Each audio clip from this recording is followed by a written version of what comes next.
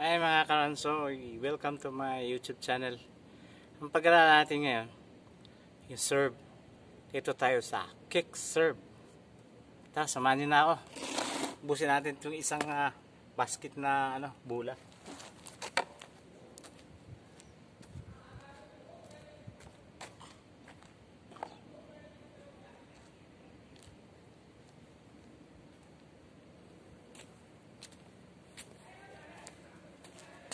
Bus natin kunti. Ayan. Kama na siya.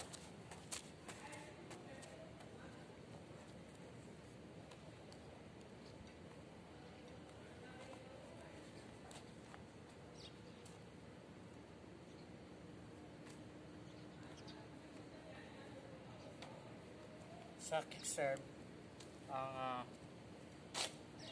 hawak natin sa racket at continental grip. Ganun, no? Ganun. Continental grip. And then, kailangan mo praktisan muna yung yeah, kailangan ma- ma- ma-perfect yung toes. Napaka-importante kasi yung toes.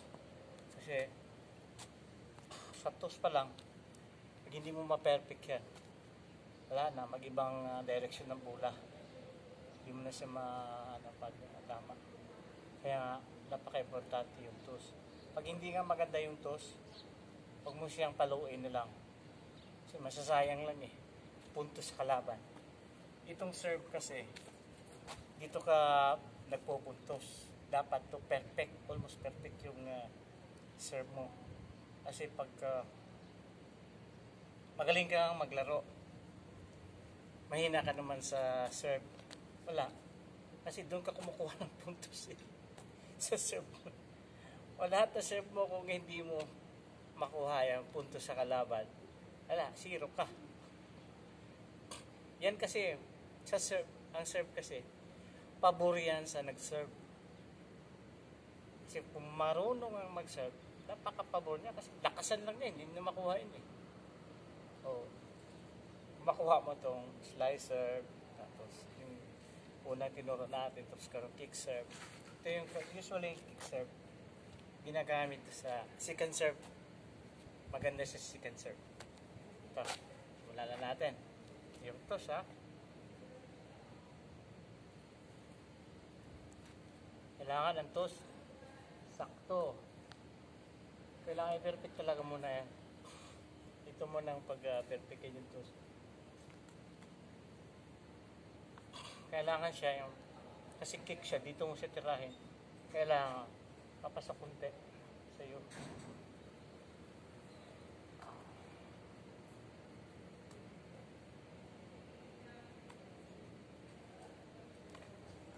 Pag nag-serve, kailangan hindi yan mabaluktot. Diretso yan. Pag nagtus ka, yun yan. Yan ang, yan ang dapat talaga ma-perfect ko na. Kasi pag hindi mo perfect yan, wala. Sayang yung servisyo mo. Ito. Yan. Pagka-kick serve yun, nalangangin ka na ron. Medyo malayo yung tos mo eh. Yan. Pwede yan, yan. Yan. Yan naman, sobrang naman yon. Kailangan, yung paa mo, nakakuha sa linya. Kasi pag nag-ano ka sa linya, puntos ng kalaban niya. Kailangan, ganun ka lang yung paa mo. Praktisan muna natin maigi yung uh, toes. Napaka-importante kasi yung toes eh. Yun na, tagilid konti.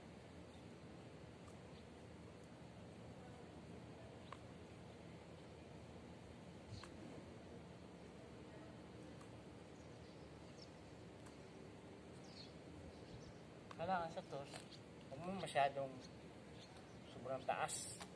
Mahirapan, matagal hintayin yun. Kataptaman lang yung toes para hindi ka maghintay ng matagal.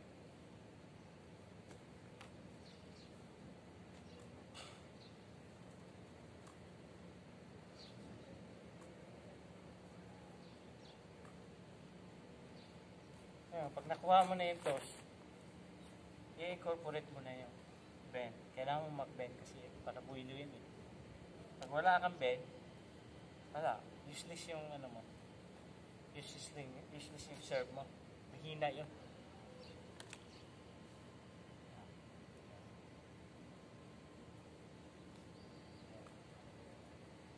Samahan na natin ng bend. Samahan natin ng bend.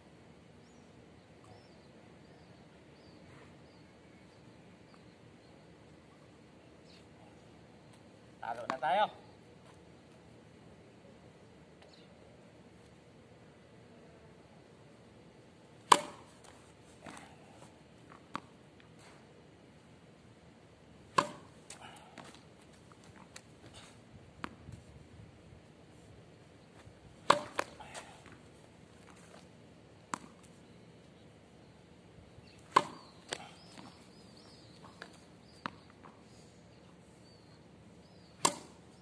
Yes! Ganda.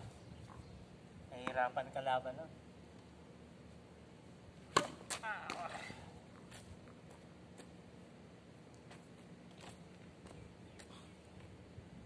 Sa serve, take time ka lang. Huwag ka lang magmamadali kasi wala namang ano yun eh, wala namang oras yun eh. Kahit tatagal ka dyan, walang problema.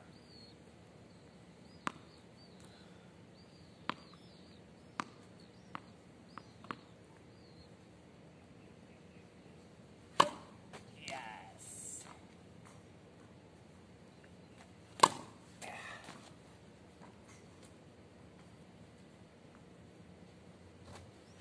Oh.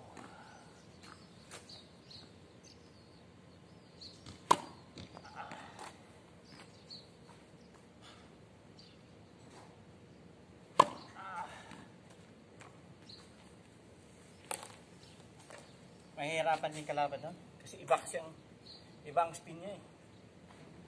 Kaya magwawala yung bola. Kaya mahihirapan yung kalaban. Sa saan niya puntahan.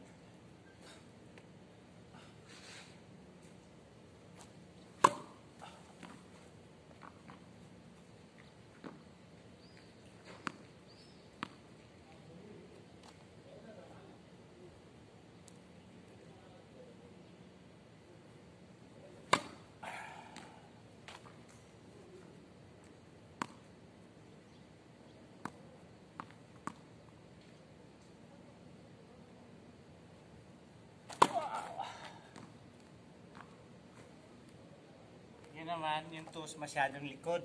Masyadong likod yun. Sobra.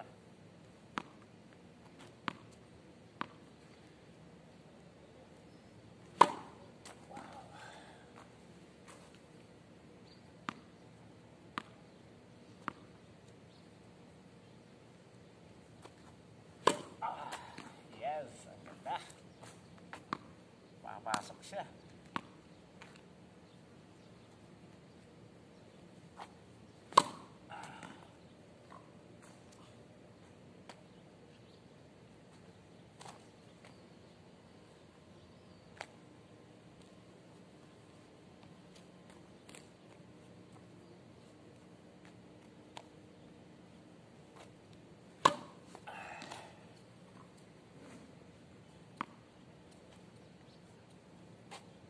Ay, masyadong ano. Eh, tal doon, hindi ko pinalo kasi masyadong ano, masyadong likod.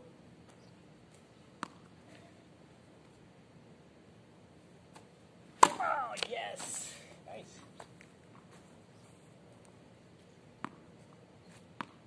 Mas ano kasi, maganda yung marami kang makukuha mo to.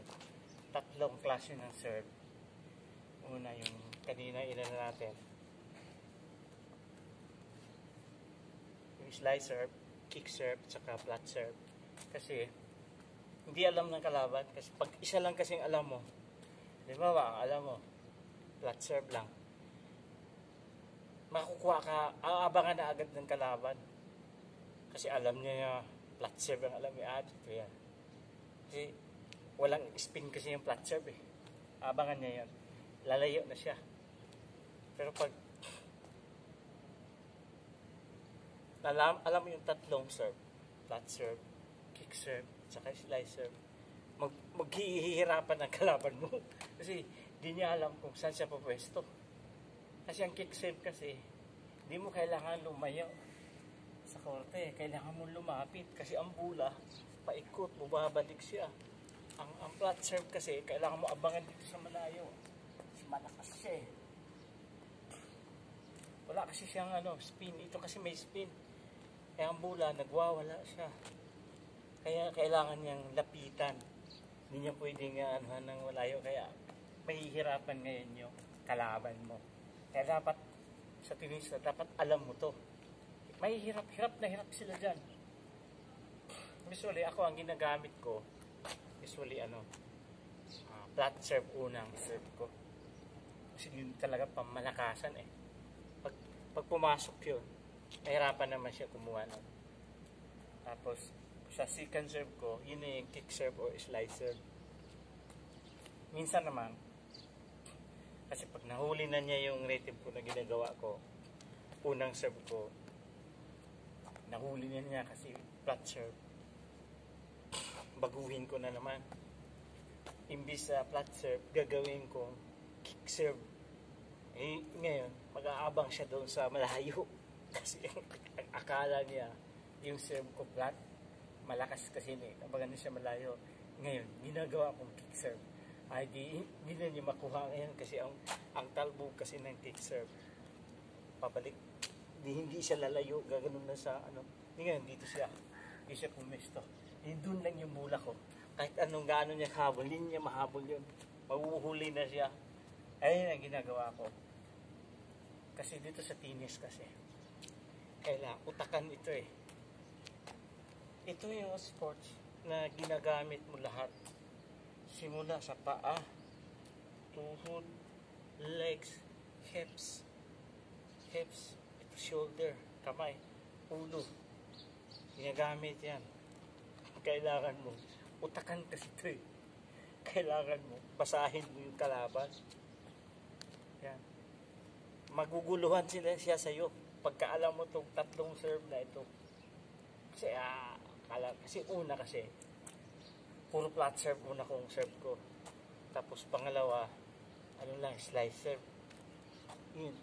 Aabangan niya yun. Ah, abangan niya. Ngayon, minsan-minsan, mag-aabang siya. Akala niya, akala niya, ano, slice serve. Ginagawa ko kick. Wala na naman siya ngayon. Yung abangan na naman yung kick. Gagawin ko na naman flat.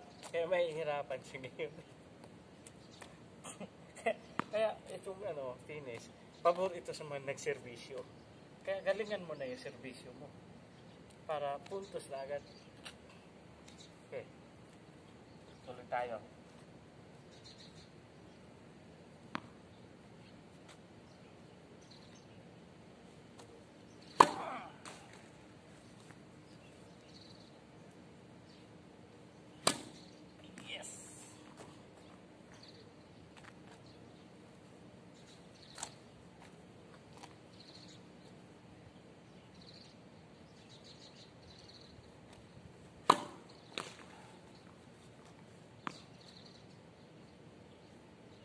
Ay, masyadong likod kaya hindi ko pinalo.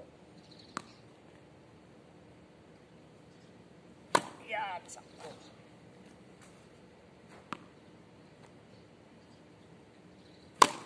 Yan, masyadong likod yun. Pinalo ko.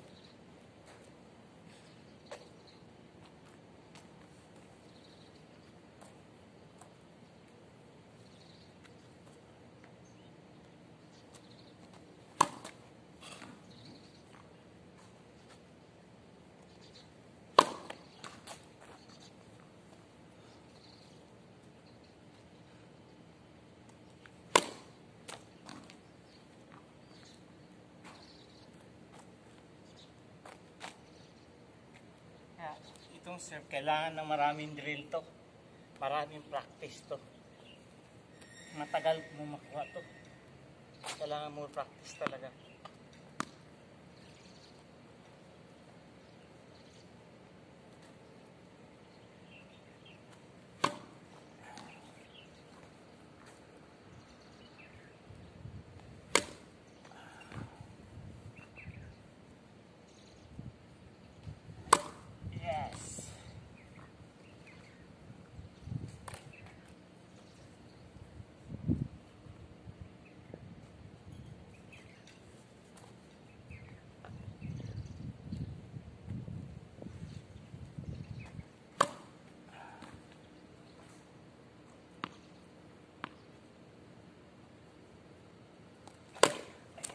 Masyadong likod. Dapat di, di panuin.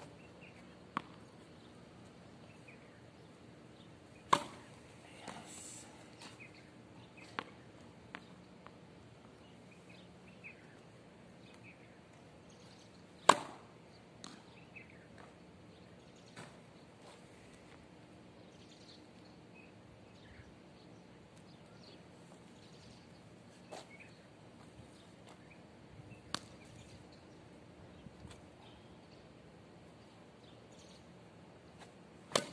Yes. Nice shot.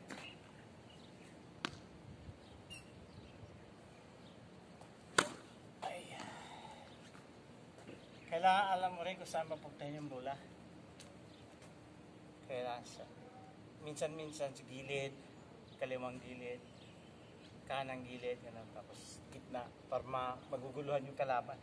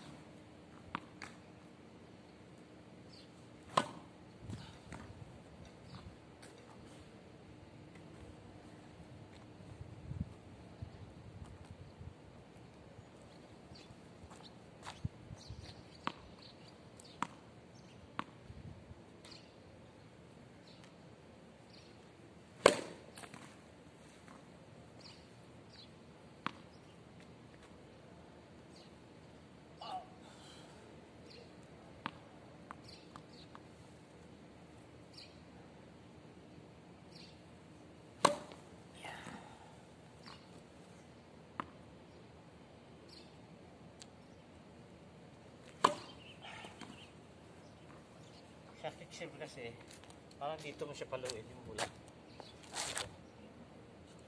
Eh, ano mo siya. Kaya, ang lakas ng spin.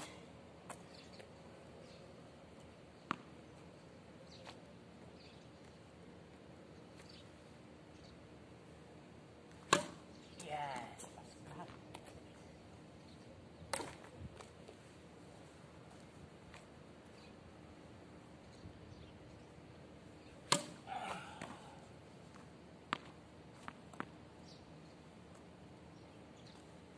Ay.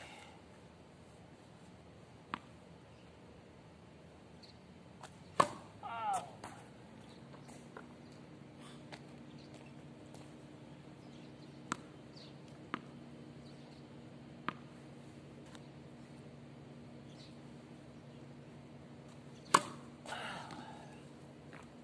Basta ang ano mo, purumuhin mo sa bola dito. Pasok yan.